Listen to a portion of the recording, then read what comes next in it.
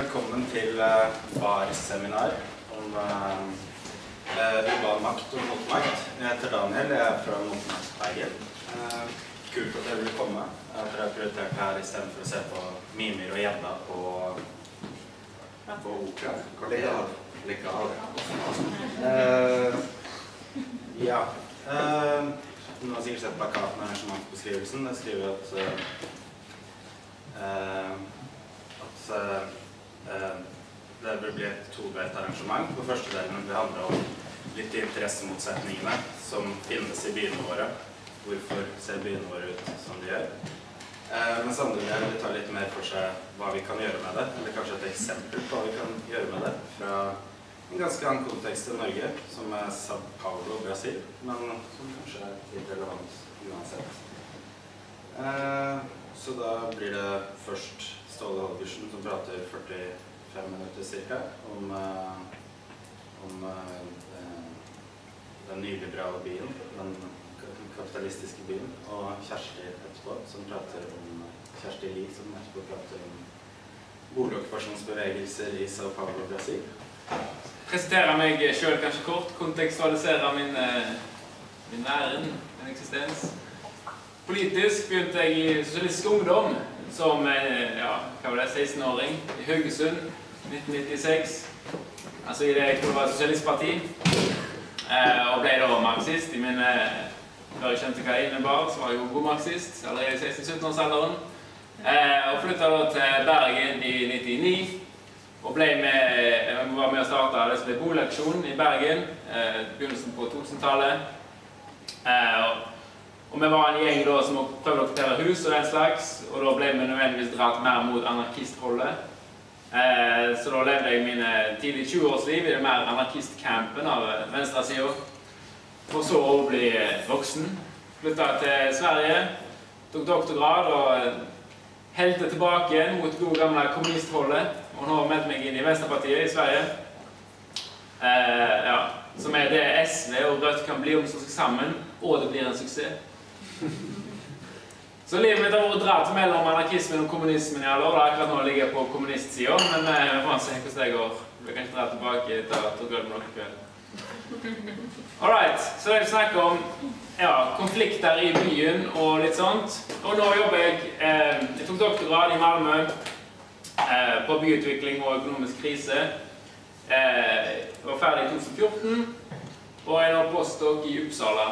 Ja, vet jeg, bor fremdeles i Malmö. Skandinavias beste by, du det. Eh, hva skal jeg si? Jo, det var meg. Jeg ble spurt om å snakke om den nyliberale byen og konflikter. Og så sa jeg ok. Den nyliberale er jo litt eh, La oss nå dra til, da, første gang. Da skal det kapitalismen. La oss snakke om det store ordet, K-ordet. Og Så jeg tenkte å og, ja, vi litt fram og tilbake. Og ja, basically Du kan gjøre, nesten gjøre hva du vil, står det. var vel det historien den siste der. Jeg var det vanskelig. Så blir det Karl Marx, da. Så blir det Karl Marx, kapitalismen og byen. Men selvfølgelig, vi lever jo i nyliberalismen, og det er jo det som er interessant, hvordan vi skal forandre verden i dag. Så jeg skal dra historien fram til i dag, da. Hvordan vi skal gjøre revolusjonen. Basically. All right? Så det kommer til å bli et stort historisk spenn og stort, eh, ja, mange store ord. Dermed forsvinner kanskje litt av eh, hva skal jeg si, detaljene, men eh, så lar det bli. Vi jobber på det. Ok? Bare et par ting om kapitalisme, da. Ser at det er en ganske helt enestående tid vi lever i, bare så det er sagt. Vi snakker om byer. Så det er lett å tro alle oss er født da i samfunn med store byer. Så er det å tro alt som at det er liksom historiens Ja. Det er, det er sånn historien skal være, sånn verden egentlig er. Men altså, sånn vi lever nå, er et historisk unntak uten like. da. Det vi har sett de siste par hundre årene vokse fram, sett kapitalismen. Og det vi lever i sitt kapitalistiske byer, er geografisk og historisk helt sinnssyke prosjekter, for å si det sagt. Det er mer folk i byer nå enn som bodde på, som regel har bodd på jordkloden, liksom. Eh, ja, tidligere. Kapitalismen har altså to ting i seg som gjør at den endrer seg helt sinnssykt. Eller bare en liten eh, ja, digresjon på størrelsen og på endringer. da. Keops pyramide ble bygd eh, 2800 år før Kristus. og var da verdens høyeste bygning ble bygd. Og det var verdens høyeste bygning i 3500 år. Og Det sier litt om hvordan mennesker har levd på denne jorda. her da. At en bygde en bygning, og så var den den største lenge. Nå bygges det nye verdens høyeste bygninger ca. hvert 40 år. Og nå i siste bygges det jo da mer eller mindre en ny plan for verdens høyeste bygning hele tida. Vi lever altså i et enormt vekstsystem og en enorm vekstøkonomi som verden aldri har sett maken til. Og det er to ting som gjør at denne dynamikken da får helt crazy konsekvenser for byene. Én ting er selvfølgelig at det ja, som dere meg ser det, er en vekstøkonomi. Men den vokser ikke bare jevnt og trutt, den vokser ekspedisielt. Eh, Eksponentielt. Takk. Som betyr at den vokser fortere og fortere. Altså, basically, den vokser med, den vokser med 3 hvert år, slik den gjorde etter krigstida. Eh, fra ett år til annet så vokser den med 3 og fra år to til tre så vokser den altså med 3% på det igjen. Så den vokser altså med prosent på prosenten. Renters rente, med andre ord. Det betyr at kapitalismen har vokst fortere og fortere fram til nå. Og framover i historien kommer den til å vokse fortere og fortere, fortere hele tida. Og så lenge kapitalismen er et materielt system som hele tiden grunner seg i vareproduksjon, slik det alltid har vært og alltid kommer til å bli, spør du meg, så innebærer det mer bruk av alle mulige naturressurser mer bygging av byer og mer bygging av absolutt alt. Så om 100 år kommer økonomien til å være Hvis økonomien vokser da med ca. 2,5 hvert år, kommer økonomien til å være ti ganger større enn i dag.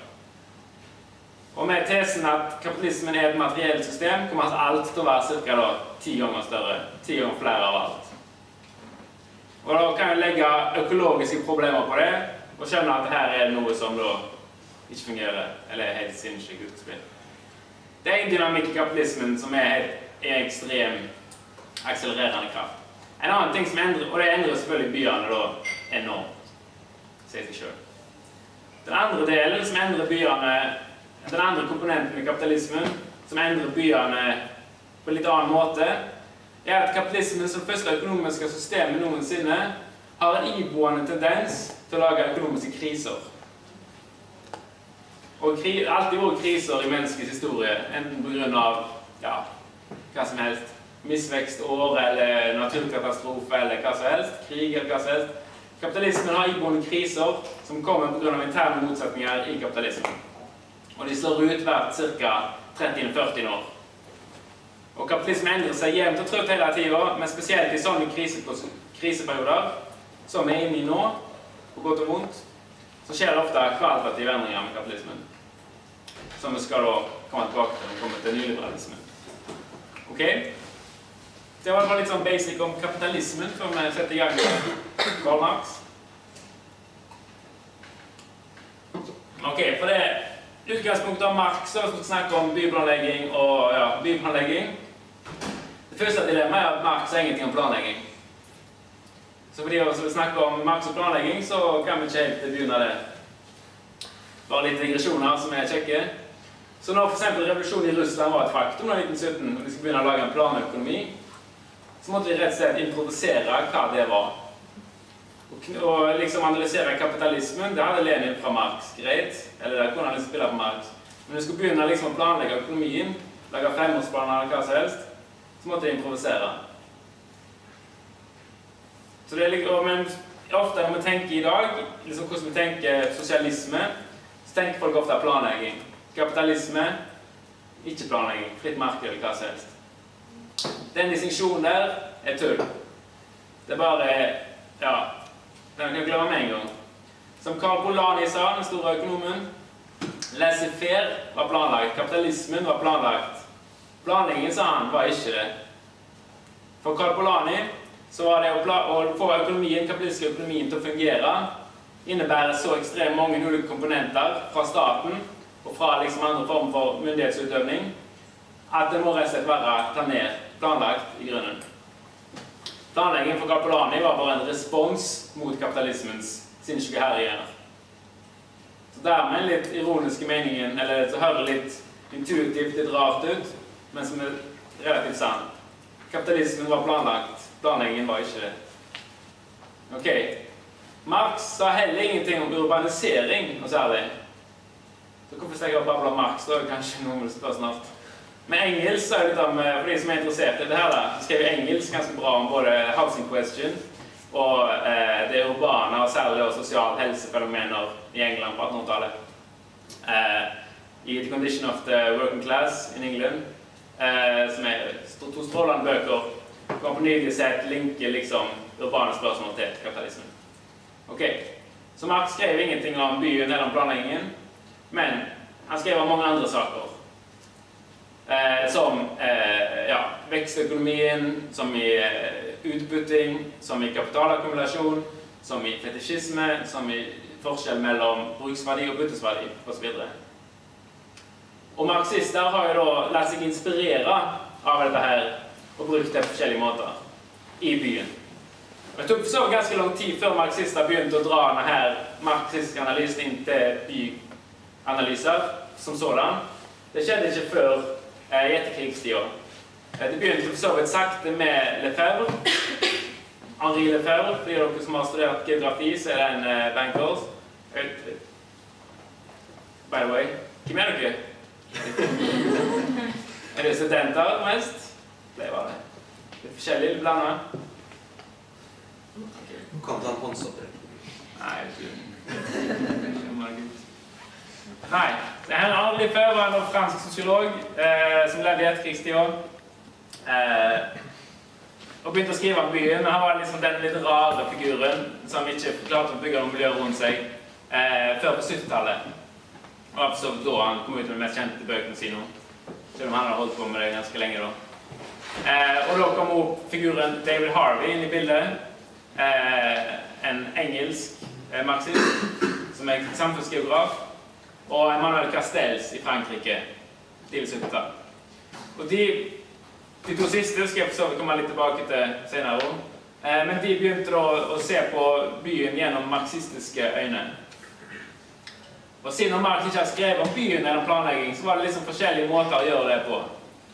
Eh, en var å da bare direkte ta ting fra Marx og sette det i byen. Så for eksempel eh, Engels skriver i The Housing Question at borgerskapet, altså kapitalismen, kan ikke løse sine problemer med slum. Den kan bare flytte rundt problemet. Altså, Så lenge du har fattigdom, så vil du alltid få materielt uttrykk i byen noen, et eller annet sted. Og Der tok jo da eh, marxister på 70-tallet og så på dagens byer og så på fenomenet gentrifisering, ikke sant? Som dere kjenner til. At noen områder som har vært mer relativt fattigere, blir flytta inn av da relativt rikere og endrer karakter. Det gjør ikke at fattigdommen forsvinner, men da brukte de engelsk for å forstå at den flyttes bare rundt. Og sånn sett kunne marxister forstå gentrifisering gjennom bare å dra Marx og engelsk da, inn i byanalysen. En annen måte var mer eh, ja, løst inspirert, skal man kanskje si. Lefer var en ekspert på det. Lese Marx, løst inspirert, bruke begrepene på en litt annen måte. For eksempel for Marx har jo alle varer har en bruksverdi og byttesverdi. Eh, ja, byttesverdien når den skal selges og kjøpes og bli en del av kapitalsirkulasjonen. Men den har bruksverdi for den siste som da kjøper varer ut av kapitalsirkulasjonen, får den varen noen bruksverdi. Altså den konsumeres. Lefebvre leker mye med sånne begreper og sier at det er ikke bare varen som har en byttes- bruksverdi, men byen har en bruks- og byttesverdi. Og mennesker i byen har forskjellige relasjoner til byen. Noen har en byttesverdirelasjon til byen, og noen har en bruksverdirelasjon til byen. Ganske gøy eh, ja, måten å leke med Max sine begreper på. Jo, kommer litt tilbake til. Eh, ja, En tredje måte marxister brukte Marx sine begreper på 70-tallet, eh, var å gjøre de geografiske, på en måte. Ta tilbake, tilbake til eksempelet med engelsk og at kapitalismen ikke kan bruke Nei, kan løse sine problemer, bare flytte dem rundt. Brukte David Harvey på en geografisk lesning av det, som han tok ut av byen nå, gjorde mye, mye større. Og det han så på da, var jo kriser i kapitalismen. Hvordan kapitalismen aldri kan løse sine økonomiske kriser, men bare flytte, flytte dem i tid og flytte dem i rom. Typeeksempel er da 70-tallskrisen i vestlig økonomi, økonomi, hvor eh, industrien ble flytta fra land med høye lønninger til land med lave lønninger. Så det var en måte for kapitalismen å løse sine problemer på, ved å flytte ting fysisk i rommet. Og dette har betydd enormt mye for samfunnsgeografien, som jeg da ja, tilhører i akademiet. Eh, ja, så, sånne måter begynte marxister på 70-tallet å leke med Marx. Selv om Max aldri hadde brukt, snakket om byen skikkelig, eller om eh, planlegging, så begynte likevel folk liksom å leke med hans ideer og leke med hans tanker, og det ble ganske mye interessante analyser. Og i der, den verden da, av eh, samfunnsgeografer, urbane sosiologer, filosofer og andre eh, Fra 70- eller 80-tallet så eksploderer det jo med marxister som vil være med i denne leken. Og det er alt fra boligspørsmålet til gentrifisering. Eh, ja, til og med arkitekter, iallfall én. Arkitekter pleier ikke å være så gode marxister. De pleier å være gode på å se radikale ut og tenke alternativt, men det er ikke gode analyser alltid, må jeg si. Jeg vil si aldri. Utenom Bill Rice Riceborough, unntaket som bekrefter regelen. En gammel mann som fremdeles bor i London, som har skrevet strålende marxistiske analyser av arkitektur. Ok. Så var folk og landskap med Don Mitchell i USA og Richard Walker og masse ja, sånne folk som forskjellige måter har begynt å bruke Max for å forstå geografien, for å forstå landskapet, for å forstå byene. Eh, ja. Da har vi altså kommet til 70-tallet, og vi har en gjeng marxister der som holder på med dette på forskjellige måter. Da kan vi kanskje hoppe til verden, da, det som skjedde på 70-tallet. Den her med nyliberaliseringen som vi jo skulle snakke om. Eh, for det skjedde veldig mye Nå skal ikke jeg ta en ABC om 70-tallskrisa, for det, noen av dere kan den like bra som meg. Men dere vet jo at vi har et økonomisk system i etterkrigstida, en organisering av kapitalismen, som er veldig forskjellig fra den vi har i dag. Altså Etterkrigstida kan vi kalle ja, hva skal man kalle etterkrigstida? Fordisme, kinesianisme, sosialdemokrati, hva dere kaller det. Skjedde på 70-tallet. Hele verden ble kastet opp ned. Eh, spesielt våre byer. Og vi har siden fått da, siden 80-tallet nyliberalisme, postindustrialisme, kall det hva dere vil. Ikke hva dere vil, men det finnes bare det. Så det som skjedde på 70-tallet, bare kort, i verden, før jeg kom til byen, var jo at eh, vi fikk en økonomisk krise, en økonomisk komponent, eh, som er veldig viktig, eh, som keynesianismen ikke kunne løse. Og hvorfor krise var det, finnes det forskjellige kriseteorier på, og internt blant marxister. Eh, men i form, av politikk så fikk han da en enorm implikasjon at sosialdemokratiet og den kinesianistiske politikken som ble ført etter krigstida, ikke hadde nubbesjanse å løse krisa. Når de forsøkte å løse den med sine klassiske mekanismer, så forverra det bare problemene.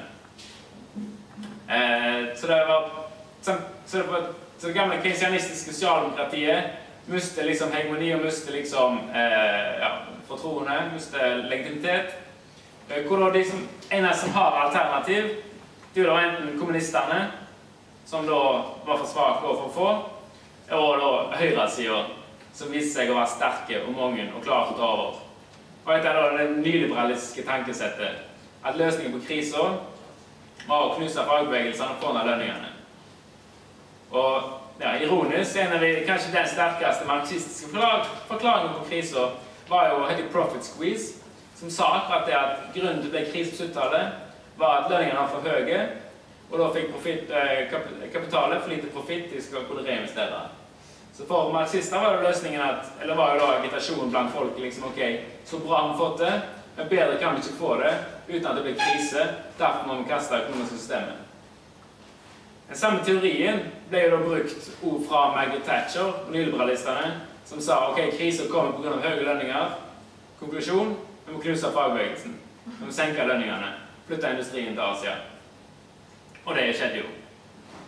Eh, ja, Krise på 70-tallet flere komponenter. Også en teknologisk komponent og ja, ideologisk komponent, som jeg så vi inne på eh, som også spiller inn i denne historien.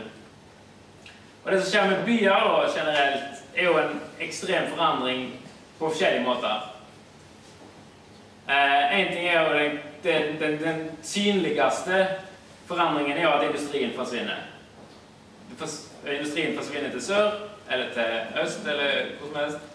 Eh, og det åpner opp områder da, i byer som er klare for å gjøre noe annet med. Men det endrer seg jo på mange andre måter. En annen er jo da, I forhold til planleggingen så blir jo flere av disse greiene privatisert. Eh, flere av planprosessene blir privatisert, og ja, litt sånne ting. Så det skjer noen forskjellige ting eh, i byene som vi kan eksemplifisere ved å dra på forskjellen mellom Castells og Harvey. Jeg skal ha mer til hva de forandringene var inne på, men la oss ta en liten digresjon innom disse to marxistene da, som var de to store i urbanmarxismen på 70-tallet. For Castells og Harvey analyserte kapitalismen i byen på veldig forskjellig måte.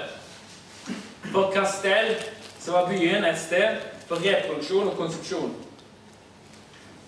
Og for han så var det sånn her byen et sted som han kalte kollektiv konsumsjon. Og, og hele utfordringen for kapitalet med byer, og hele meningen med byer, ifølge han, og det hoved, liksom med byer, for Castells, var at kapitalismen har et og det er klassisk marxist-teori, at det er overproduksjonsproblem. At det produseres mer varer enn vi klarer å kjøpe og konsumere. Og Det er iboende dilemma i kapitalismen som bunner i at arbeiderne produserer varer, og de får lønner for det, som de skal kjøpe varene for, men en del av eh, omsetningen må gå til profitt i selskapet. Så de kan ikke få ut nok lønner, lønninger til å kjøpe alle varene. Så produseres hele tiden for mye varer ja, basic teori, som jo har fått enorm vind i seilene etter at flyttet industrien da til sør. Og med teknologisk endring nå, så produseres det i dag noe så sinnssykt mye varer som vi sliter med å realisere. Sliter med å konsumere. Selv om vi konsumerer mye, syns dere kanskje, så er det altså enda mer produksjon hvis det gjør dere nervøse for planetens framtid. Og Castell mener at byen var en måte å prøve å organisere konsumsjon på en mest mulig effektivt sett. At staten gikk inn og prøvde å organisere byer for at folk skulle konsumere mest mulig. En kollektiv konsumsjon. Og fokus blir da ikke bare på shoppingkonsumsjon, men også liksom på konsumsjon av eh, felles eh, ja, ting bruker felles. Som transport og sykehus og skoler og sånn, som også liksom konsumerer på et eller annet. Så for Castell var da liksom byen et sted for konsepsjon og reproduksjon. Og det er ikke feil. Men det er helt, det begrensende. For Harvey legger til en dimensjon som drar det et steg videre. For har er ikke byen bare et sted for reproduksjon og konsepsjon, men også et sted for produksjon.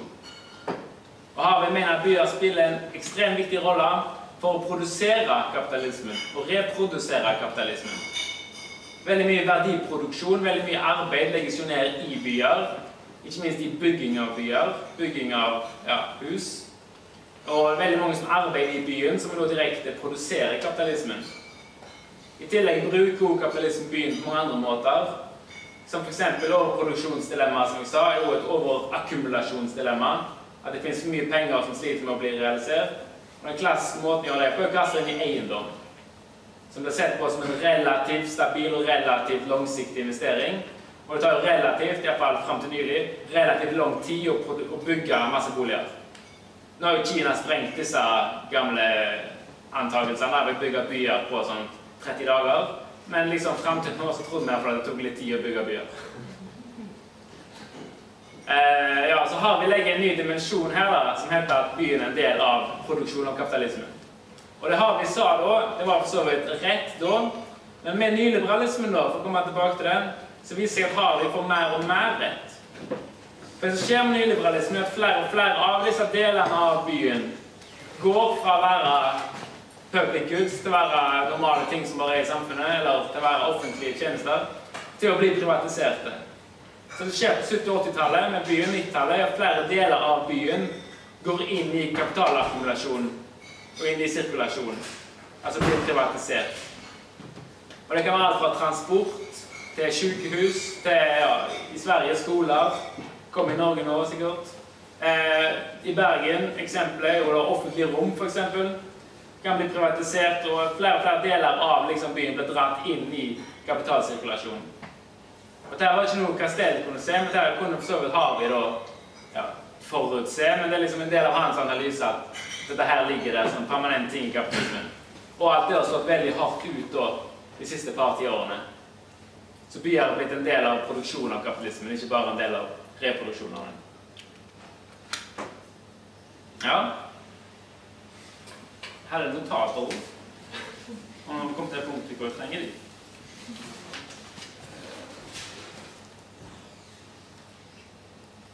Ja, så det er liksom nyliberalismen eh, veldig kort. Og før han bitte litt lenger, så etterkrigstida Det er lett å Bare en liten eh, parentes og advare imot når man tenker på disse to periodene. da så lett å tenke på etterkrigstida som sosialdemokratisk, fordistisk, liksom halvsosialistisk.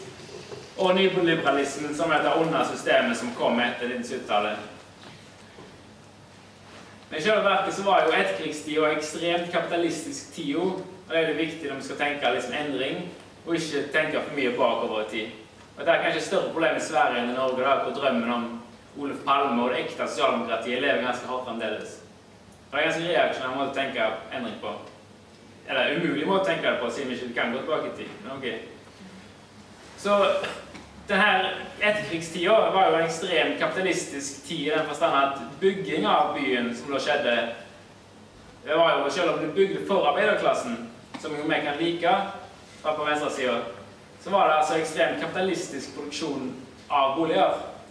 Spesielt, Min forskning har mer om Sverige enn Norge, da, så eksempelet mitt kommer litt derfra. Men Sverige har jo tro på seg sjøl som liksom en slags halvsosialistisk etterkrigstid. Men ser vi i dag, så P, dere kjenner til P, så går rundt i byen og ser på hva som bygges, så er veldig ofte P av NCC eller Skanska. sant? Selskaper som finnes i hele verden og bygger, det er jo bygd av, eller blitt store på av bygginga av ja, en million leiligheter i Sverige eh, på 60-tallet. Så det liksom, og Da var det enormt tette bånd mellom liksom, I dag snakker vi om korrupsjon og Ture Drevland og sånn. på en tur. Det var enormt tette bånd 50-tallet mellom ledelsen i svenske sosialdemokratiet og Skanska, f.eks. Altså, Korrupsjon er ikke noe nyliberalt eller nytt i så måte. Men jeg tenker tenke at det ikke var så gale da, for de bygde tross alt arbeiderklassen.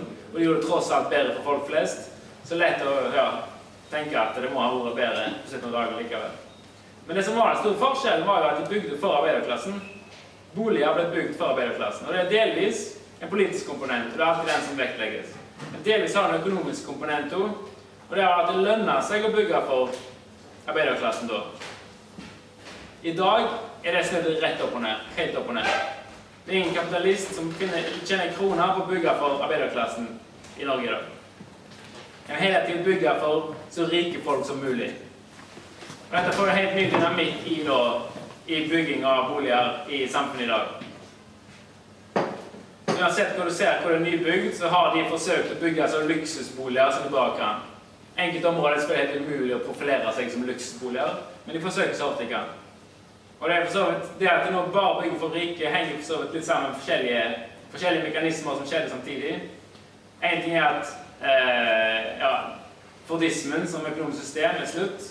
Troen på at arbeiderklassen får mer penger, kjøper varer, så vokser alt videre og videre. Den drøyt på 70-tallet. Eh, med krisen, som jeg nevnte. Eh, og, det, ja, og, samtidig har det skjedd en økt eh, økonomisk polarisering mellom rike og fattige. Så de rike blitt veldig mye rikere, og det finnes et segment av befolkningen som kan kanskje inn eller betale ganske mye for boliger, som nå ikke var der på samme måte i etterkrigstida. Ja, så er det også en geografisk aspekt ved at mange sånne områder sjønære områder, industriområder, blitt tilgjengelige som verftet her i byen og sånne ting. Som jo åpenbart har en attraktiv lokalitet i byen. Som gjør at boligproduksjon i byer har blitt for de rike. Det liker vi ikke. Eh, så her nyliberalisme som ideologi da, har jo liksom påvirka byplanleggingen og hvordan kommunen oppfører seg.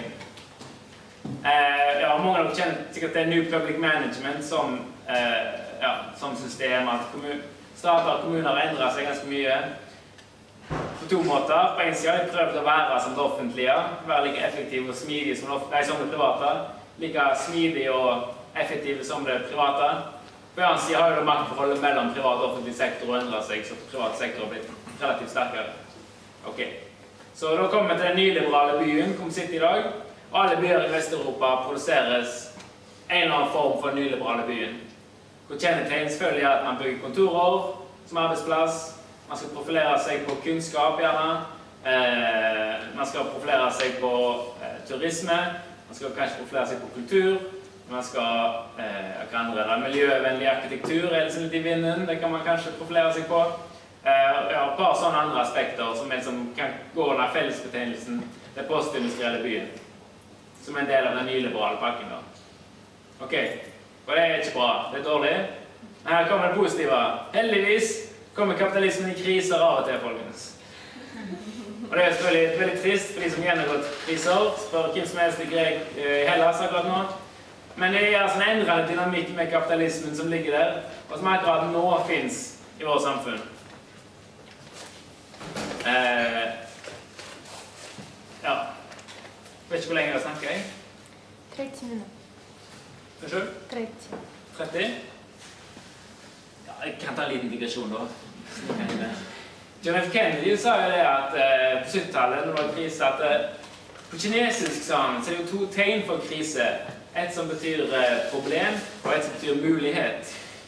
Og Siden det har jo alle i Vesten trodd at kineserne trodde at krise var både mulighet og liksom utfordring eller problem. Og så viser jeg da kinesiske språkforskere har liksom sett litt på hva Kennedy sa, og hva, hva egentlig hvordan skriver vi på kinesisk eller mandarin, eller hva heter. Og det tegnet for krise som problem er riktig. Det er liksom, det er noe greit. Men den er som mulighet, det er liksom Det betyr ikke helt muligheter på kinesisk heller. Det betyr liksom at det er et visst anpassningsrom, eller visst liksom sted du kanskje kan klare å manøvrere litt. Men den der eh, ideen vår om at krise er liksom et sted hvor du ja, åpner alt på nytt, og da kan du liksom virkelig få prøve å liksom få din idé gjennom og sånt. Det er ikke helt det kineserne tenkte. Men ok, nå er vi i krise.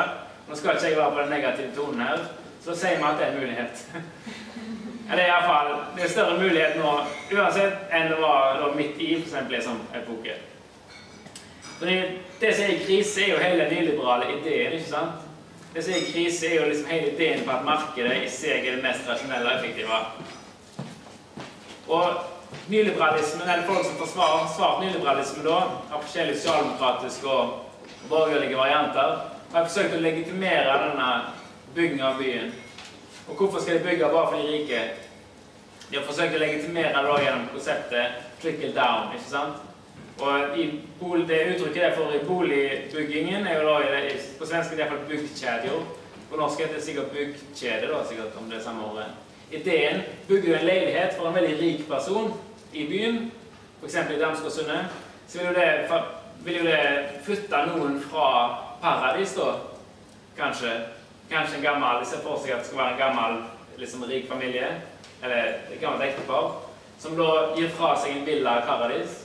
Og så ser de for seg at de skal flytte to fattige, enslige folk som akkurat har funnet hverandre, til den villaen fra et annet sted. Så vil det liksom bli flere ledige leiligheter bakover i rekken i kjeden. Så ifølge denne dogmatiske troen på denne eh, byggkjedeteorien, så vil én leilighet for en rik kunne hjelpe åtte familier. Og det her er liksom litt forskning som prøver å forklare det, og så er det masse forskning som bare sager det ganske hardt. da. Så det er liksom en sånne ideer har liksom vært liksom eh, gjennomgående hele liberalismen. Troen på at hjelper du de rike, så vil det hjelpe alle til slutt. på en måte. Pengene vil dryppe ned, eller leilighetene vil dryppe ned. Denne type ideer er jo skikkelig krise nå. er ikke Det Det er nesten ingen som tror på det her lenger. Altså Selv, selv blant sosialdemokrater så begynner det å komme folk som Piketty. ikke sant? Han er ikke noen marxist i det hele tatt. Han er en helt vanlig keynesiansk, reformistisk sosialdemokrat som kommer liksom med å sette spørsmålstegn ved dette. Og på høyresida har du kjørt inn på austerity og denne type ja, innstrammingspolitikk som overhodet ikke fungerer. Så liksom, vi står i en liten epoke hvor folk ikke helt vet hvor de skal akkurat nå. da. Og det gir jo tross alt litt håp at det kan gå rett vei, da. Ok. Så skal vi avslutte med å si ja om tenkte å avslutte litt positivt, hva man kunne gjøre og sånt, og muligheter og sånt.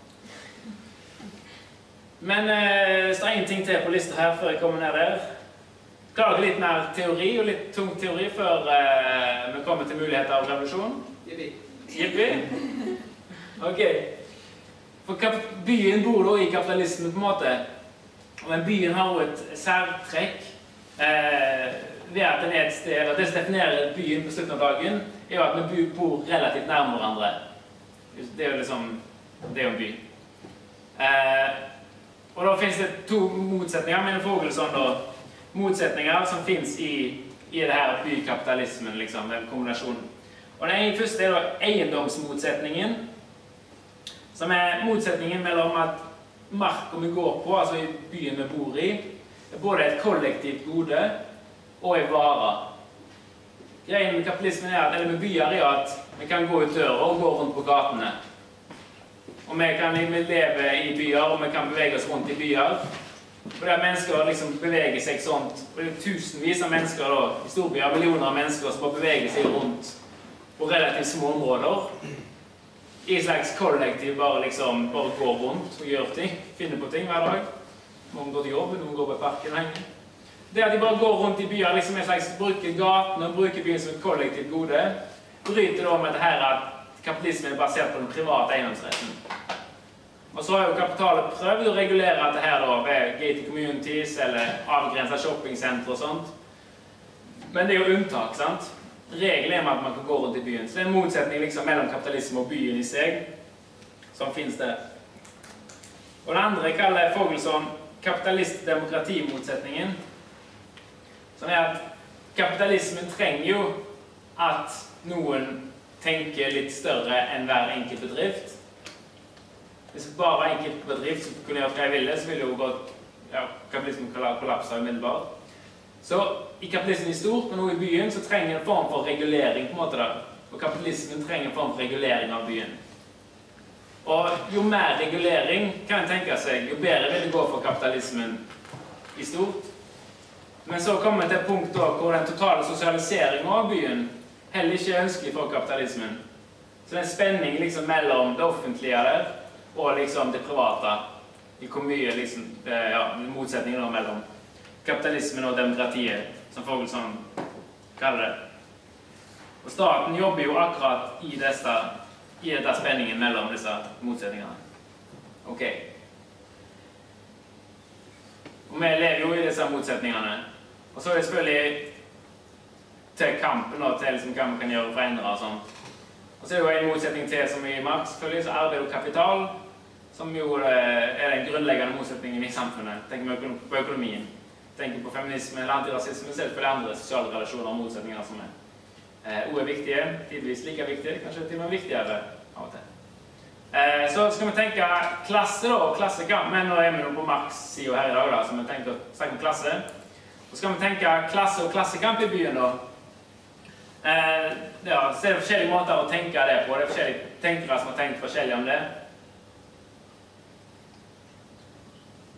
Og i den litt sånn halvradikale halvradikale skal jeg si. I mye av litteraturen finnes det mange forskjellige begreper for å prøve å forklare klasseforskjeller i byene. Eh, social exclusion er et klassisk begrep. Er sosial eksklusjon. Eh, dual city, at byer blir mer dual. Eh, gentrifisering går inn på mye av de samme prosessene. Økt segregering er et begrep som brukes av mye av det samme. Eh, og disse er alle begreper som har potensialer, da, og som sier noe om klassesamfunnet vårt. Eh, men jeg liker på en måte Hvis vi skal dra klasse rett inn i konfliktene, eh, så liker jeg veldig godt Lefebvres distinksjon mellom de som bruker byen, som jeg nevnte, som bruksverdi, og de som bruker den som byttesverdi. De som har byttesverdi i relasjon til byen, og de som har bruksverdi i relasjon til byen. Og så er det med klasse, da, at det er lett å henge seg opp i feil ting. Lett å henge seg opp i begrepet middelklasse, som er en uting, som er et begrep som bør eh, mer eller mindre avskaffes. Iallfall slutte å diskutere liksom, hva form for kulturelle uttrykk som middelklasse eller ikke. Total avsporing fra liksom, forstå jeg virkelig maktforholdene i samfunnet. Eh, folk som har lest altfor mye på de sitter der hver dag og tenker liksom, på om denne eller her ølsorten er middelklasse eller arbeiderklasse. Avsporing. Avsporing. Eh, mens del fem prøver da å gå inn liksom, og se på eierskapet av byen. Men så er det sånn med klasse da, at det er ikke tatt ut av lufta middelklasse. fordi forholdet mellom da, arbeid og kapital for eksempel, er jo ikke svart-hvitt. men den er fremdeles da selvfølgelig høyst relevant. Og det er litt som med forskjell mellom dag og natt. Umulig å peke på hvor dagen begynner og natta slutter. Og natta slutter og dagen begynner og sånt. Men det er da en distinksjon som absolutt er nødvendig for å helt tatt kunne leve to dager på denne jordkloden. For å kunne sove, sove uten å skulle legge deg. Så det er vanskelig akkurat å peke på. Ofte finnes det mange gråsoner og sånt som kan være relevant og interessant å bruke litt tid på, men det er viktig å ikke tape seg i de for å forstå liksom, hovedmotsetningene. Eh, og da peker Lefebvre på at det finnes to typer mennesker. De som har en byttesverdi, kaller han det, til byen. Og det er de som bruker byen som et kapitalobjekt, og som bruker byen som en akkumuleringsprosjekt. Og det kan være ganske mange forskjellige typer folk. De som eier eh, bygninger, huseiere, hushaier, forskjellige folk det som jobber med det. De som, bygger, de som eier liksom, selskapene som bygger bygningene. Eh, de som eier bankene, som låner penger til de som skal bygge bygningene. Eh, de arkitektene og planleggerne sitter på et konsulentselskap og tegner bygningene og eventuelt planlegger områdene. Eh, eller kan være de som eier butikken på hjørnet. Eller forskjellige butikker i byen. Eller kan være de som eier utendørsreklamen eller sånne. Forskjellige kapitalister så har da alle en byttesrelasjon eller færre, til byen. Og så er det alltid selvfølgelig gråsonen igjen. da. En ting er selvfølgelig at veldig mange i Norge eier boligen sin og ikke leier. Er de kapitalister? Nei. De, staten forsøker å gjøre oss til det ved å gjøre oss til låneslaver, men OK. Det er en liten gråsone. selvfølgelig. Det er ikke alle butikker på hjørnet som er av samme sort. Det er ikke alle som er McDonald's. Noen er rett og veldig trivelige butikker som bare prøver å få det til å gå rundt uten å tjene veldig mye penger på det. Er de kapitalister, da? De har bare en liten butikk helt alene. Gråsoner. OK, gråsoner. Men i stort finnes det store krefter, og pengemessig finnes det enorme penger som er kasta inn i byttesverdisida av kapitalismen. Og så finnes det bruksverdisida, da.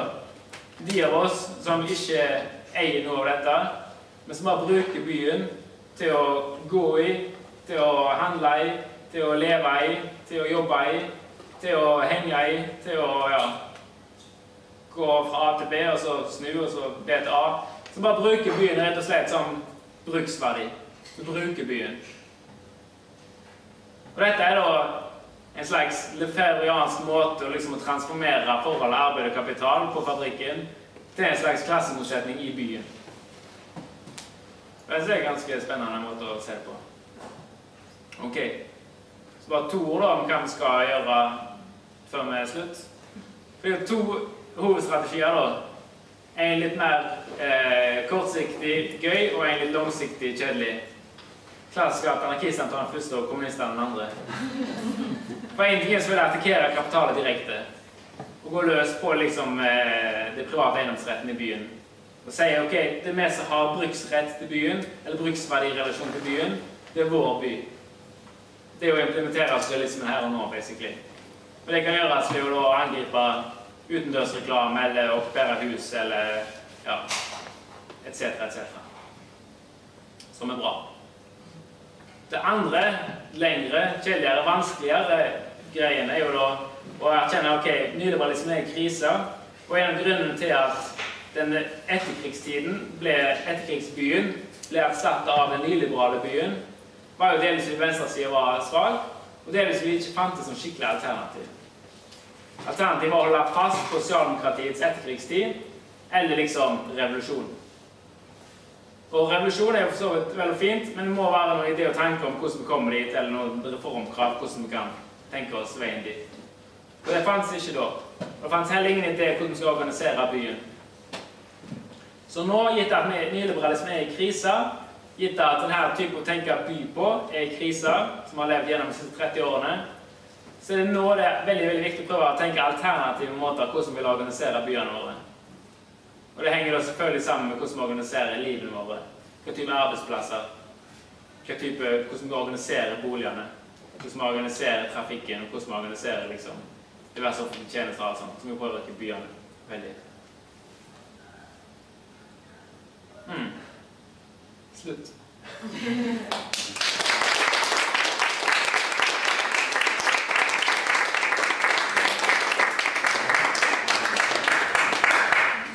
Spørsmål nå, eller skal vi ta en spørsmålrunde etterpå?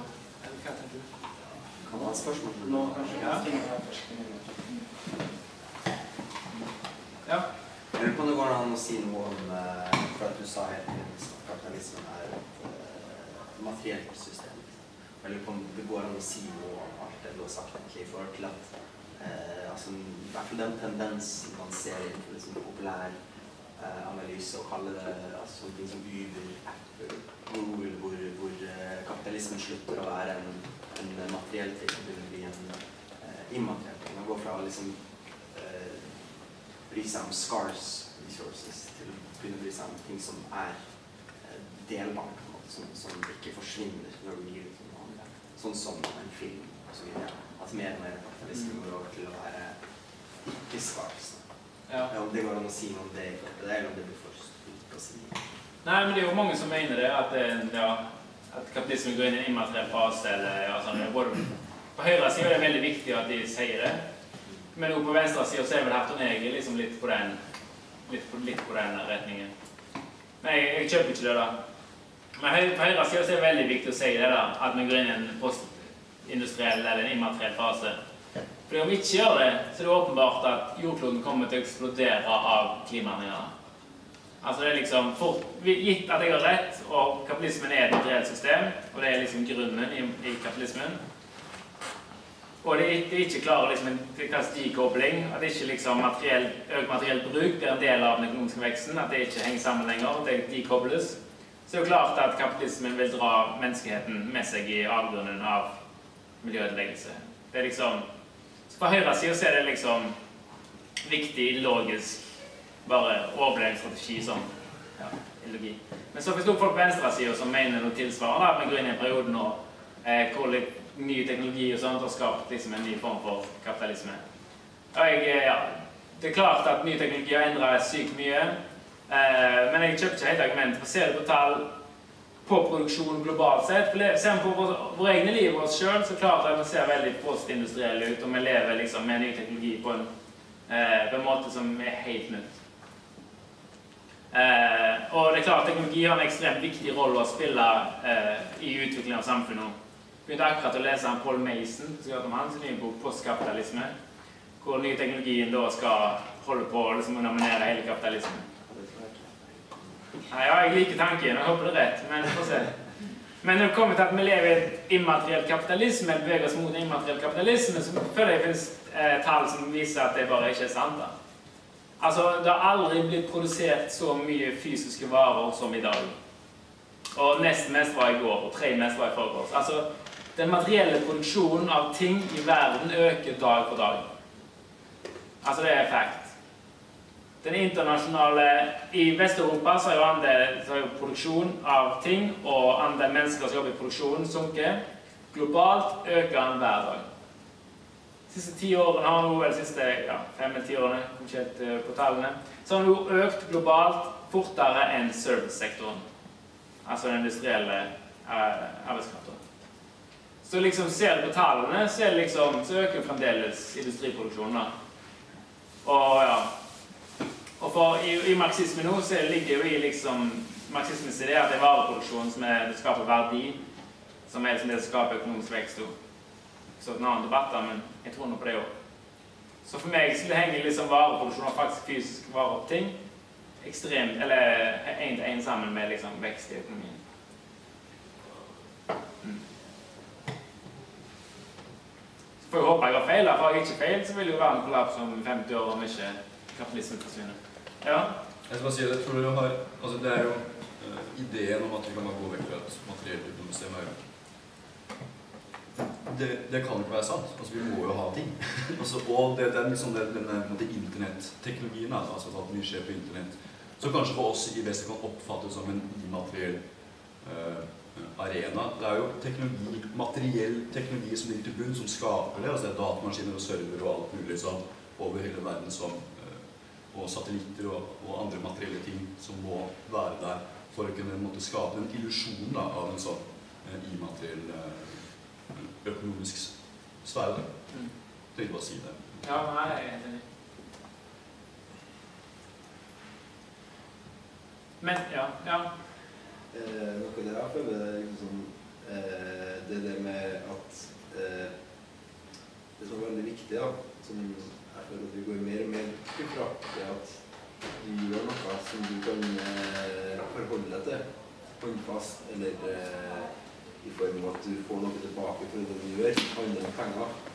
Som er veldig viktig. At du gjør et håndverk, eller at du gjør noe som eh, du føler gir mening for deg sjøl eksempel som jeg som vokste opp på gård, alltid vokst opp med at du eh, yter sjøl for at du skal få mat på bordet, på en måte, eller jeg vet ikke.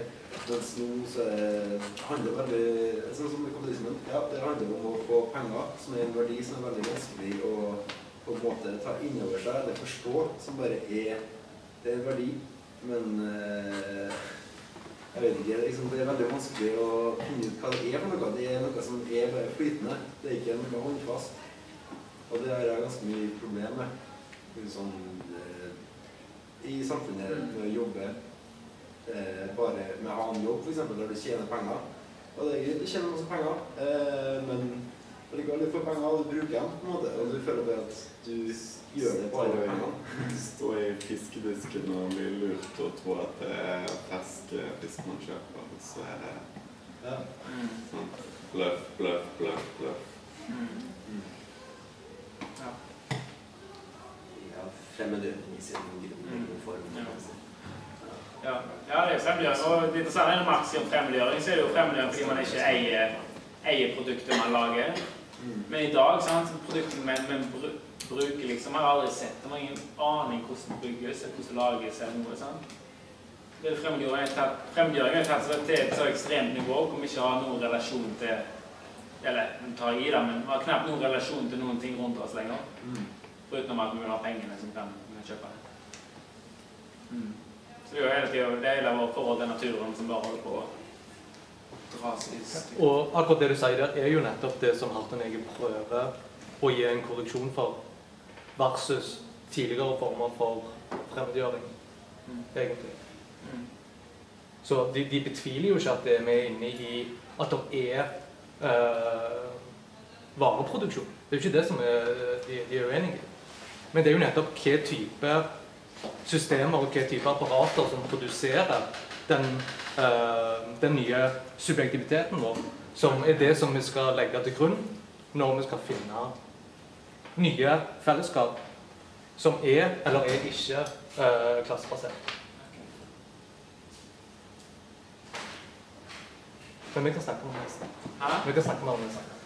Ja, nei, jeg har ikke aldri gått så løs på at når jeg leste en Empire-bok og tenkte OK. Next.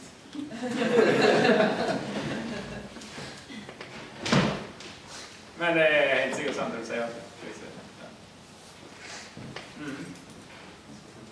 Ta en ti minutters pause, og så høre på Kjersti. Jeg glemte å introdusere her i stad. Det skal jeg ikke gjøre nå.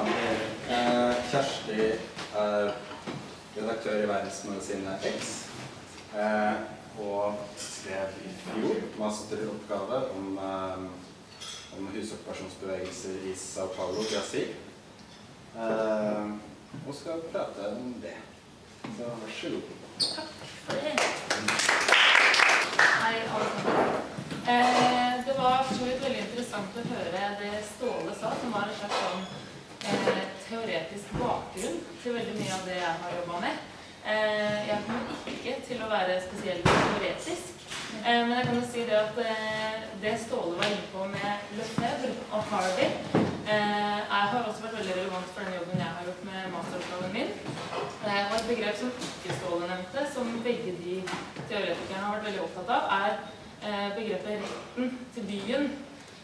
Og det er også et begrep som har vært veldig viktig for de sosiale bevegelsene i Brasil. Eh, og sånn som de forstår det der, eh, så brukes det veldig ofte som en sånn eh, Alle som bor i byen, har like stor rett til å forme den framtidige byen. Eh, så sånn sett så var det veldig bra at du Ståle kunne gi meg litt sånn teoretisk eh, introduksjon, på en måte. Og så skal vi jo til eh, en veldig kapitalistisk basert by, nemlig Sao Paulo i Brasil. Jeg tenkte bare skulle si litt eh, først presentere meg selv litt sånn ordentlig eh, hvor jeg kommer fra og sånn, for du hadde jo en sånn politisk introduksjon til deg. Jeg kan si at eh, jeg har eh, vært mye i Latin-Amerika. Eh, vært som flere av de som er til stede her i dag, på brigade i eh, Latin-Amerika, i Bolivia i 2008, og vært mye i Latin-Amerika etter det. Både som eh, aktivist og som journalist. Eh, og nå jobber jeg da som eh, Daniel fortalte, i verdensmagasinet X. Eh, Norges eneste utenriksmagasin, eller Norges eneste uavhengige magasin, utelukkende med fokus på utenrikspolitikk og eh, utviklingspolitikk. Så eh, hvis dere ikke har sjekka det ut før, så kan dere sjekke det ut. Det var dagens reklame. Første, ja, egentlig da, så kan jeg si det først. Jeg hadde egentlig planlagt et lite sånn bildeframvisning her, men så fant jeg ut at det ikke var eh, noe sånn eh, prosjektor her. Men jeg tenkte at jeg, jeg gjør det likevel. Eh, så jeg har bildene her på denne fotodatamaskinen. Eh, jeg skal vise dem fram her framme, og så får dere bare sende bilder rundt. Eh, det klarer dere. Sånn at eh, det er litt for å liksom få litt sånn settingen av hvor vi er. Eh, og jeg vil gjerne spørre, er det noen her som har noe kjennskap til Brasil? Eh, de som har det, kan dere rekke opp hånda? Det er noen. Eh, Jeg skal prøve liksom, prøve å sette litt settinga, da, sånn at vi skjønner hvor vi er og hva vi holder på med. Eh, og så kan jeg spørre, da, bare for nysgjerrighetens skyld, er det mange her som har okkupert eh, et hus? Er det mange som syns at det er kult? Da, da vet vi det. Det er liksom dette vi skal snakke om eh, her i dag, da. Men først for å sette litt sånn settingen, så er det altså her vi er. Det er denne kapitalistiske byen, eh, Sao Paulo i Brasil. Skal dere bare sende den alt. Eh, Sao Paulo er eh, den største byen i Brasil. Eh, Det er en helt gigantisk by, som dere kan se på det bildet der. Bare innenfor selve bykjernen så er det 12 millioner innbyggere. Og hvis man også regner med de omkringkrinsende kommunene, så er det snakk om 20 millioner innbyggere. Eh, Så det er eh, en utrolig stor by. eh, En av verdens største urbane sentrum. Det er også det finansielle sentrum i, i Brasil, og det finansielle sentrum også i Latin-Amerika, kan man si. Har vært et industrielt sentrum i Brasil i veldig mange år. Mye av industrien i Brasil har vært konsentrert i Sao Paulo, som betyr at også veldig mange fra landsbygda i Brasil har migrert til Sa Paulo, eh, som også er noe av årsaken til at byen er så stor som den er i dag. Det at så mange folk har migrert fra landsbygda til byen, betyr også at Sa Paulo har en sånn enorm periferi. Eh, jeg skal komme litt tilbake til det, men fra å reise fra sentrum av Brasil og ut til liksom, periferien i, Sa Paulo, det kan ta mange timer. Eh, jeg var i Brasil og i Sao Paulo første gang i 2014, i januar, og ble bare helt sånn sjokkert over den byen som du så på det bildet der. En sånn vanvittig by. Eh, og noe av det som overrasket meg mest, det var den enorme ulikheten som er i den byen der. Fordi på det bildet der så kan det se ut som det er litt sånn New York Financial, eh, mye penger, som det er. Men det er også en av verdens mest ulike byer. Så hvis noen av dere liksom kjenner til den såkalte Gini-koeffisienten, så ligger da Sabalo Paulo på 50,3, som er liksom vanvittig mye, da. Eh, Sverige til sammenligning ligger på 25. Sverige skårer da best. Eh, så det er en veldig, veldig ulik eh, by. Eh, og et godt, en beskrivelse av den ulikheten kan man da se eh, på dette bildet her. Så kan dere sende den rundt også. Jeg håper dere får det litt sånn fysisk aktivitet sånn eh, mellom all pratinga. Eh, det bildet der er tatt i eh, en bydel i Sao Paulo som heter Morumbi. Eh, en av de rikeste bydelene i Sao Paulo. Der bor på en måte eliten. Eh, I svære sånne kondominios, som de kaller disse store leilighetskompleksene. Ved siden av disse svære blokkene der, eh, hvor folk med veldig mye penger bor, eh, har altså folk som ikke har noe sted å bo i det hele tatt, tatt seg til rette og okkupert eh, jord som ikke har blitt brukt til noen ting som helst. Eh, og den bevegelsen da som har okkupert den jorda der, det er NTST, som jeg også da har blitt invitert litt for å prate om. Eh, jeg skal snakke mest om dem, men også komme litt inn på andre boligokkupasjonsbevegelser. Eh, for i min masteroppgave så har jeg sett på både dem og en litt sånn bredere eh, boligbevegelse. Eh, Boligbevegelsen i Sao Paulo består jo da av folk som definerer seg selv som takløse. Roofless, eller senteto, som man sier på portugisisk. Uten tak. Og det å være takløs, det er bredere enn det å være bolig... Altså, det er ikke bare liksom homeless, de som bor på gata. Det er også folk som rett og slett føler seg selv påvirket av det man kaller boligproblemet. Det kan være folk som er tvunget til å bo mange generasjoner i ett rom. Eh, det kan være folk som bor på gata. Det kan være folk som er tvunget til å bruke 80 av inntekten sin på å ha et tak over hodet. Sånn at eh, definisjonen av takløs er veldig bred. Eh, men i Sao Paulo alene så snakker man om fem millioner takløse, som er jo et helt vanvittig eh, stort antall mennesker. De takløse da, de eh, er eh, arbeidsløse, de er alenemødre, de er folk som jobber i uformell sektor, de er de fattigste i Brasil. Og veldig mange av de er da tvunget til å enten da bo på gata eller å bo i periferien i Sao Paulo, langt utenfor der hvor alle andre som har penger, vil bo og ønsker å bo. Det er selvfølgelig sentrum til skjer, det er der man vil være. Og det er der man vil bo, akkurat som i veldig mange andre byer i verden. Um, det som er litt sånn unikt for Sao Paulo, da, er at uh, disse takløse er veldig godt organisert. Uh, ikke alle, men veldig mange takløse er organisert i boligbevegelsen, Uh, som er en, en veldig brei bevegelse, som består av mange titalls ulike organisasjoner.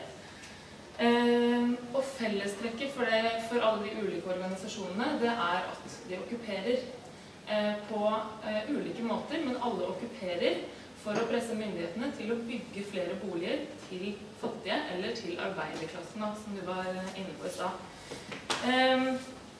Noen okkuperer i periferien, på jord, jord som har stått brakk. Eh, andre okkuperer tomme hus i sentrum.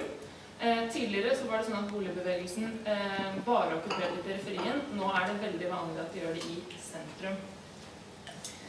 Jeg kan jo vise dere også da hvordan det ser ut i sentrum. Da. Dette her er liksom midt, dette er liksom Karl Johan, på en måte. Og det er bare tre eksempler av veldig, veldig mange. Det er umulig å være i Sao Paulo sentrum uten å gå forbi helt sånn vanvittig mange okkuperte hus. Eh, og det var det også som gjorde at jeg endte med å skrive masteren om, om det der. Jeg synes det var bare helt sånn merkelig at en så stor by eh, med så mye penger kunne ha en sånn bevegelse.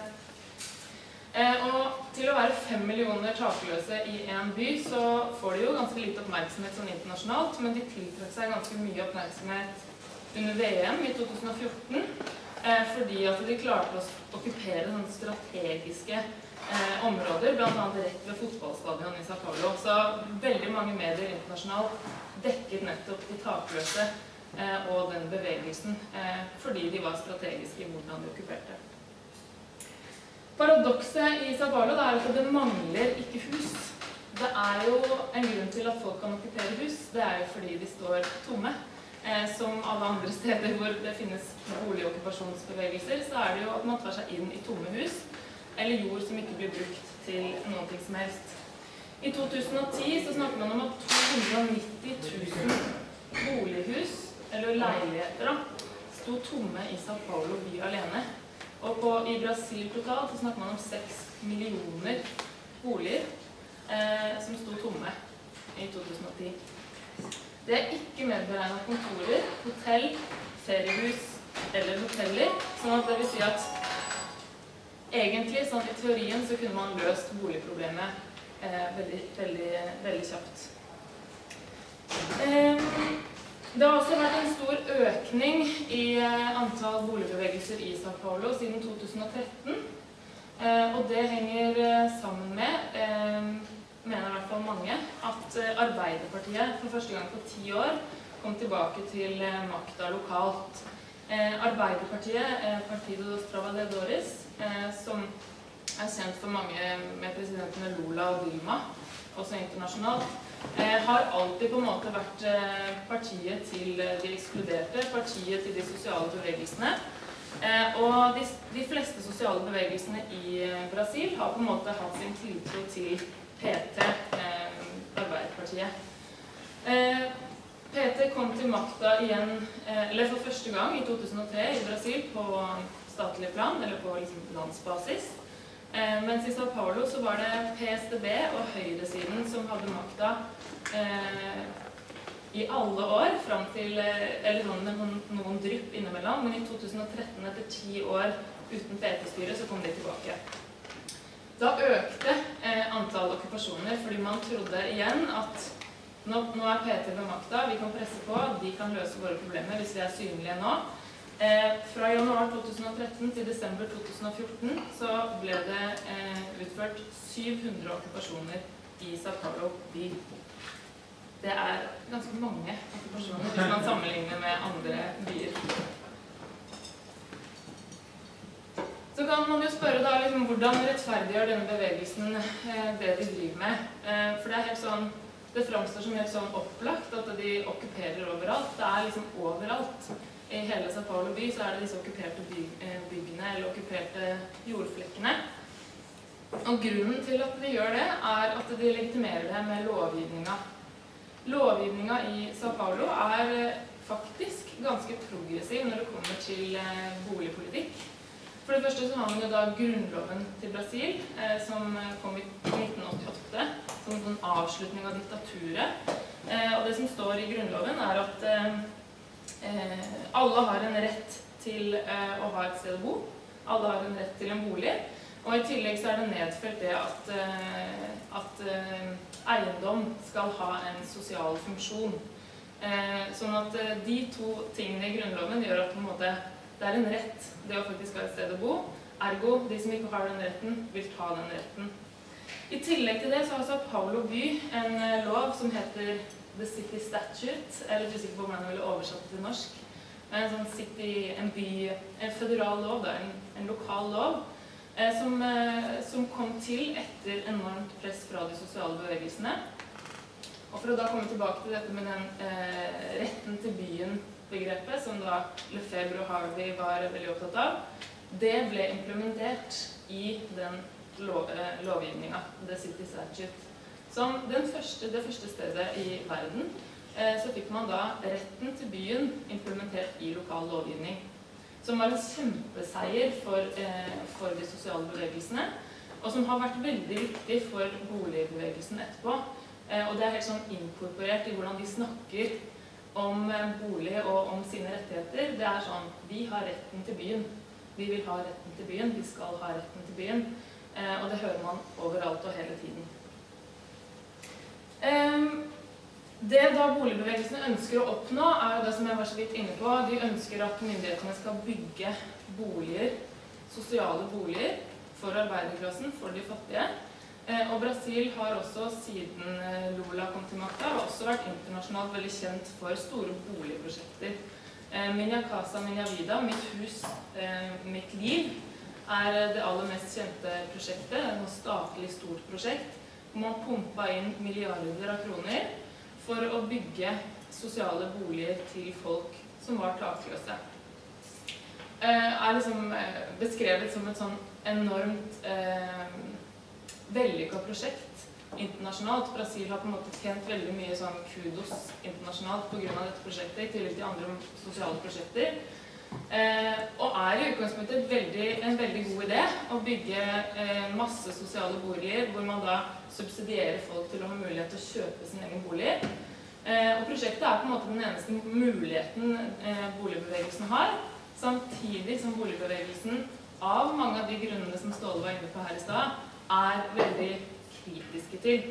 Eh, nettopp fordi eh, dette er jo kapitalistisk eh, bygging av boliger, hvor de entreprenørene som bygger boligene, selvfølgelig ønsker å ta ut så mye profitt som mulig når de bygger boliger.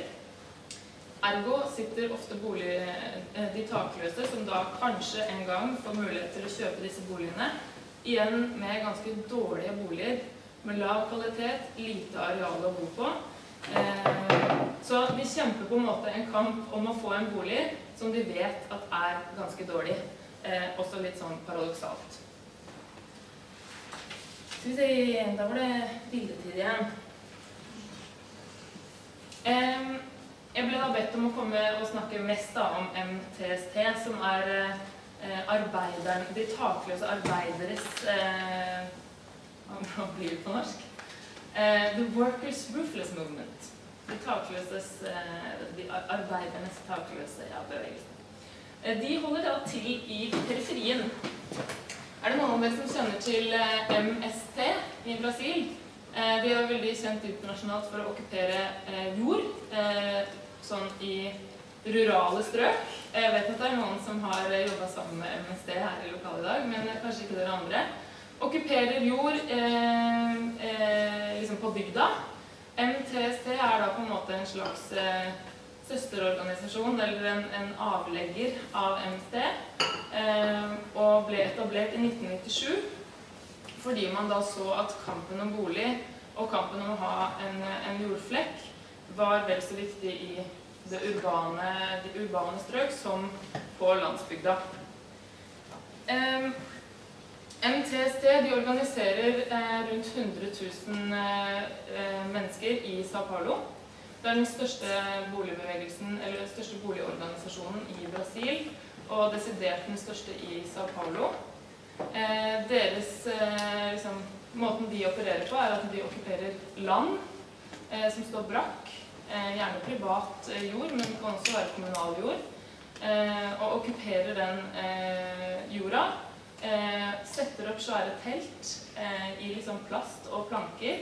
Eh, I motsetning til å da bygge et telt som du da har tenkt å bo i over lang tid, så er det en mening med at de bygges veldig dårlig, fordi det her skal være midlertidig.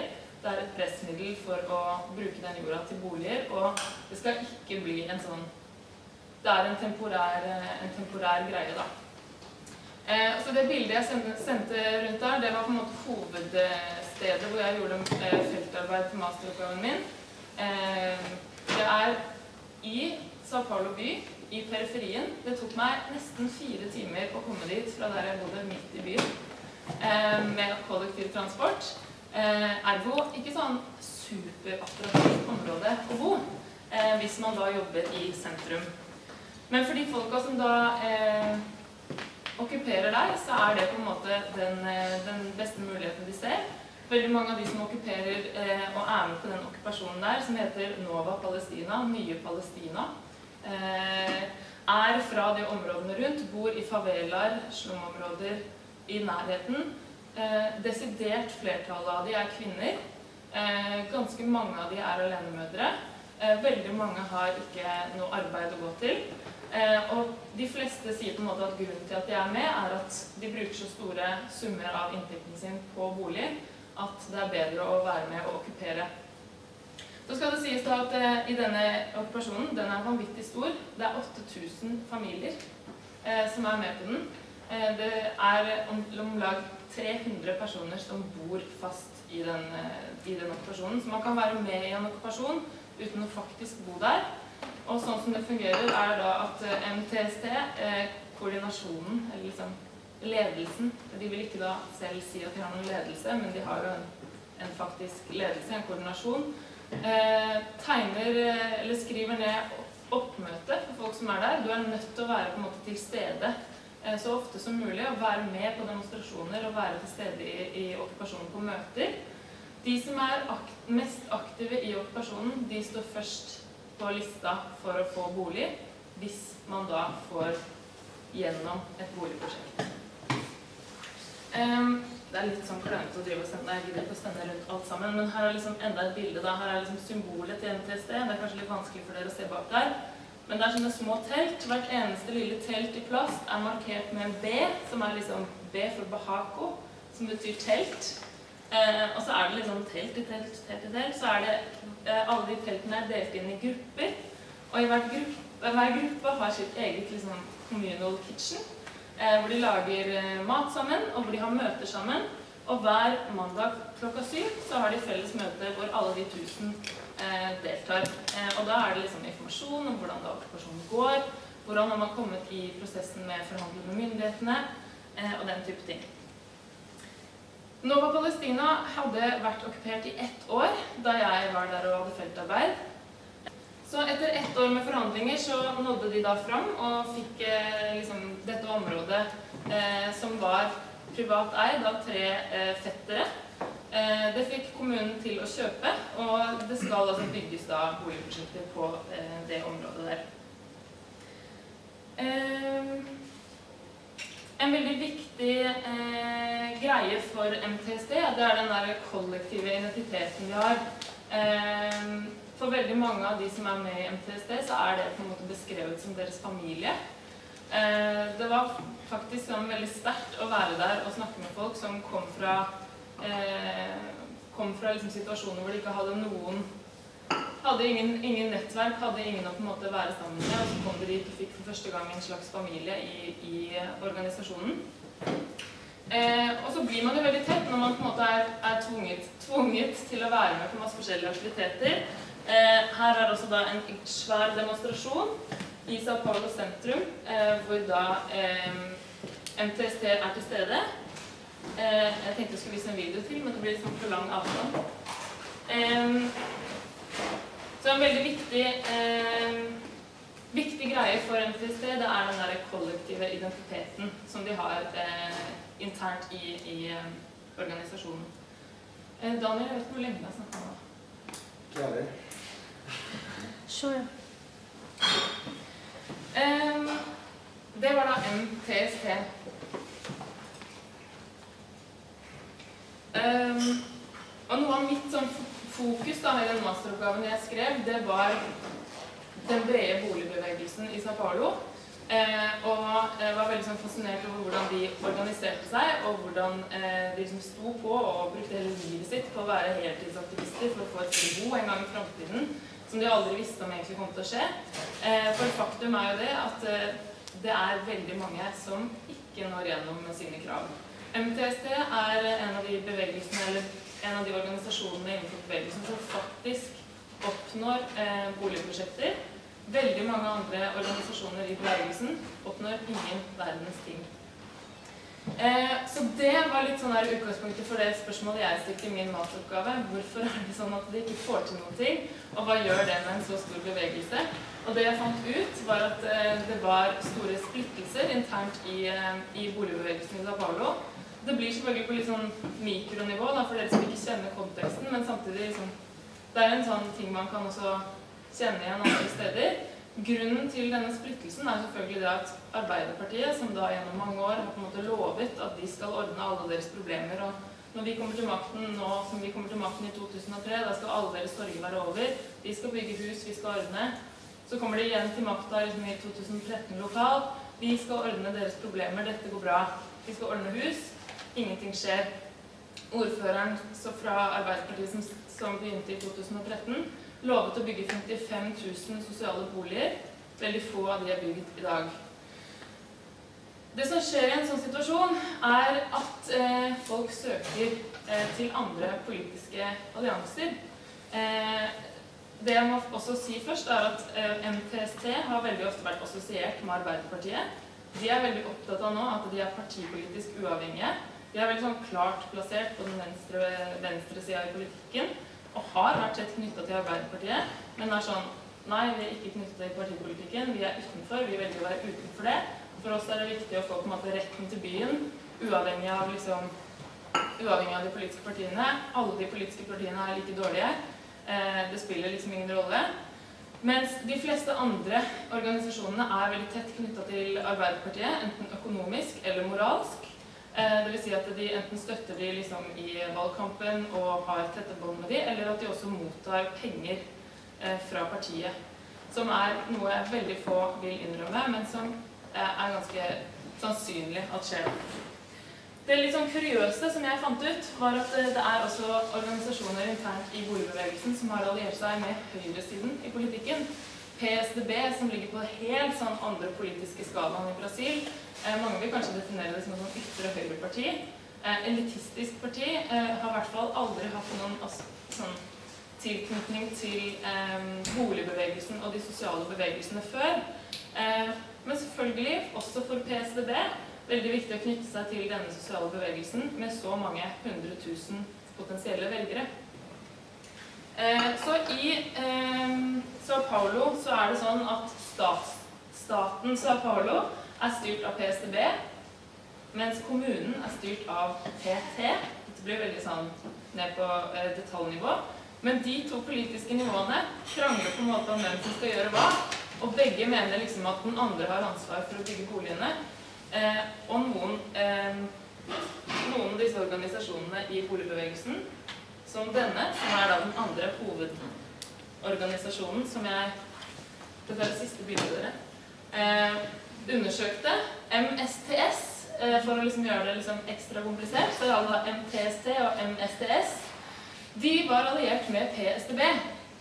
Hadde en helt annen strategi. Den okkupasjonen dere ser der, den heter Cinema Maroccos, altså Marokko-kino.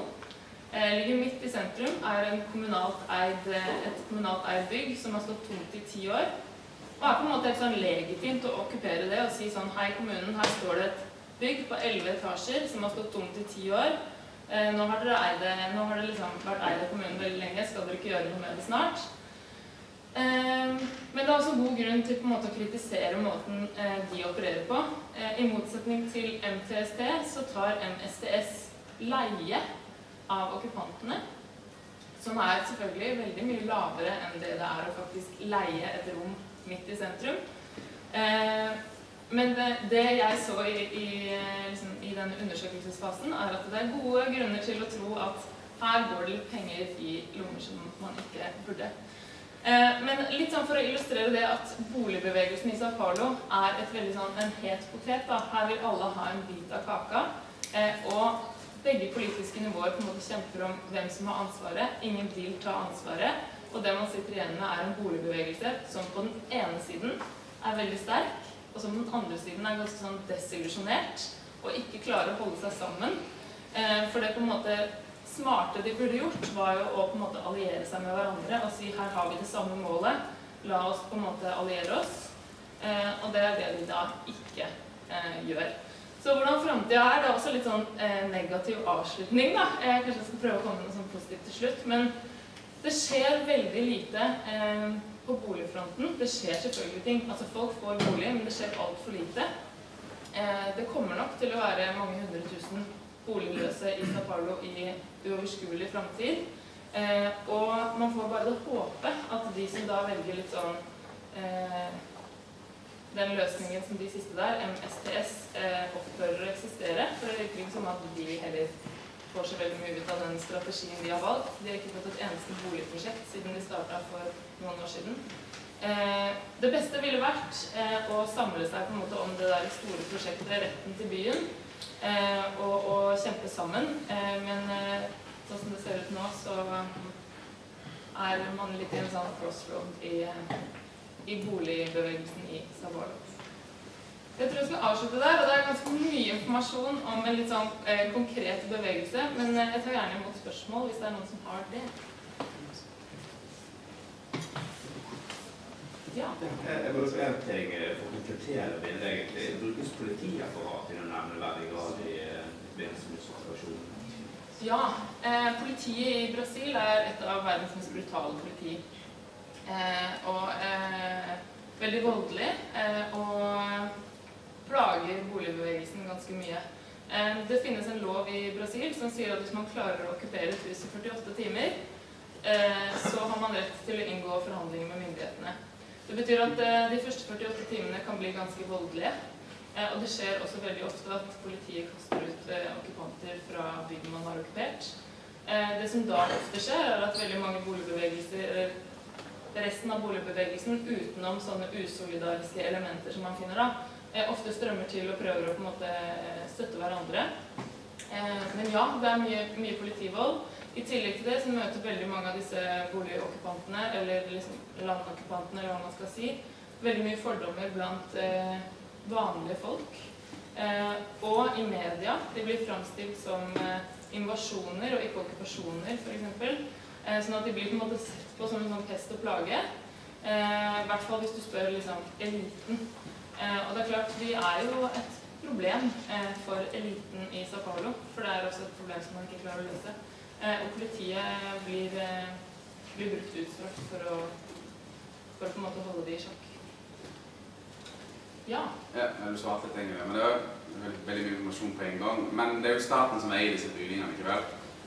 Eh, Hva sa du? det er staten som eier disse her, disse tomme bygningene? Det kan være private bygg, og Det det kan være kommunale bygg. ja. Så jeg bare lurer liksom, hvorfor blir de ikke, liksom, hvorfor kommer ikke bare kapitalistene sånn «Blæ, Vi skal ha en butikk her, eller vi skal ha en bank her. Hvorfor forblir de tomme? Var det fordi det er lov, her lovnedslaget? Det har mange grunner til. det. Altså, det kan jo være at det, det er et hotell som har gått konkurs. Eh, Sao Paulo sentrum eh, var veldig sånn eh, lukrativt å ha eh, business i tidligere, mens businessen nå har flytta lenger sør i, i sentrum. Sånn at det kan hende mange har bare sagt sånn hasta la vista. Mange har kanskje ikke hatt råd til å opprettholde bedriften sin. Eh, eller det kan være spekulasjon, da, at man ønsker å la tomme bygg stå, eh, stå lenge at de forfaller, og at man kan rive og gjøre hva man vil med dem. Så det er mange grunner til at, altså at byggene står tomme.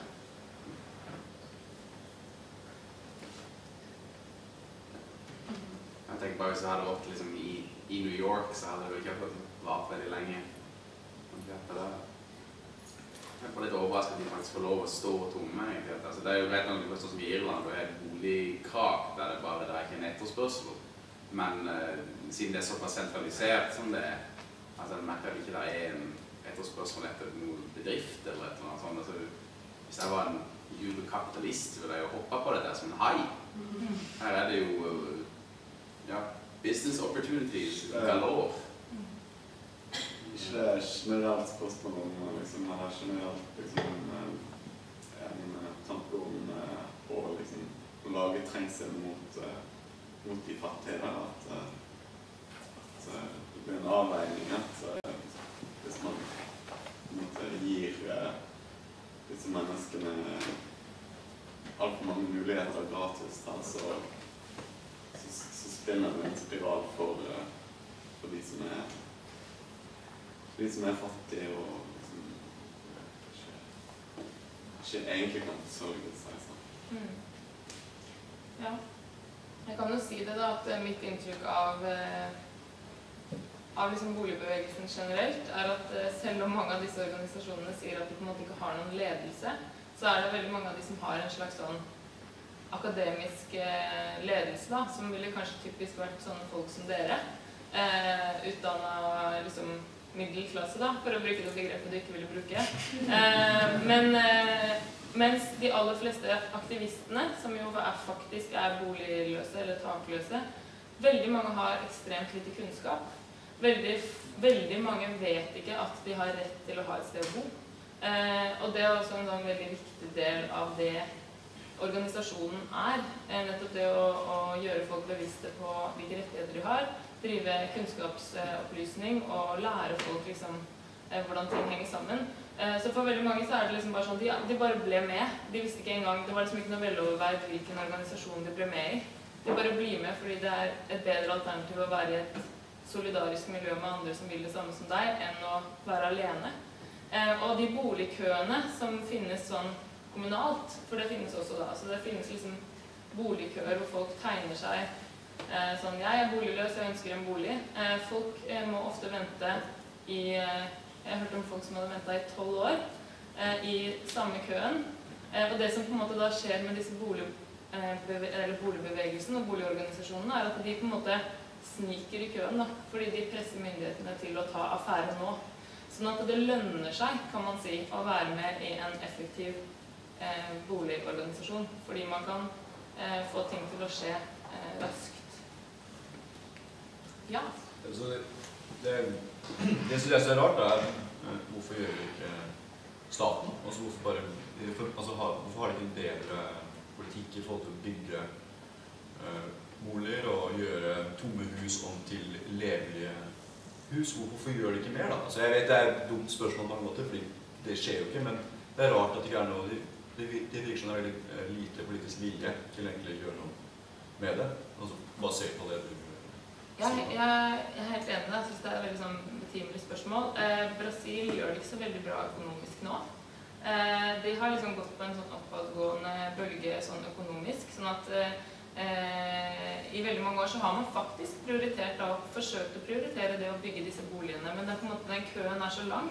Det tar så lang tid å på en måte bli ferdig med den køen at eh, innen, innen de husene er slitt ned, for å si det litt sånn eh, banalt, da, så er det fortsatt en kø å, å mette.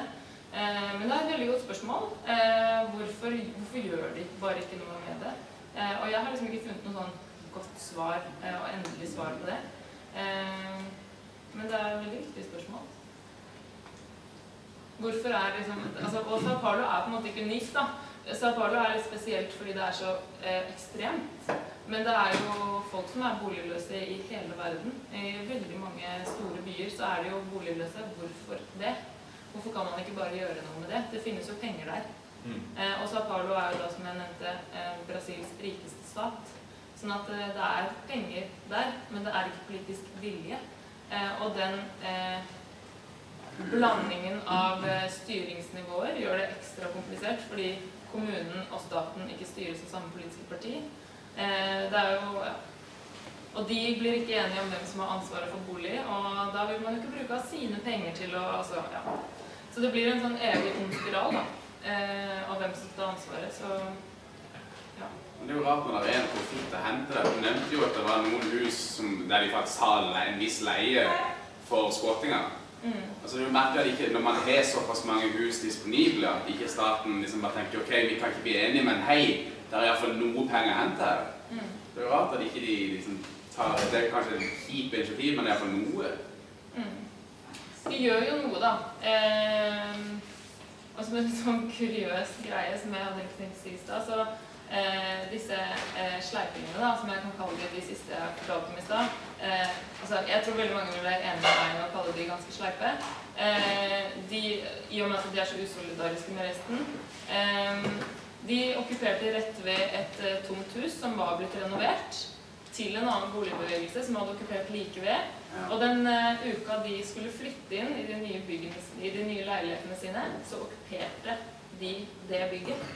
Eh, og på en måte stakk kjepper i hjulene for, for den prosessen. da. Eh, sånn at eh, det er mye liksom, kniving om de samme godene her. Og det er litt sånn De vil også ha bolig og Og det er jo på grunn av at de har den lovgivninga som sier 48 timers greie, at de kan gjøre det. bare sånn. Ja, den 48-timersregelen er vel litt sånn hipp som opp hvordan, hvordan den håndheves, da. Ja, Men, ja, eh, men ja. Ja. Det er, en, det er liksom en lov, da.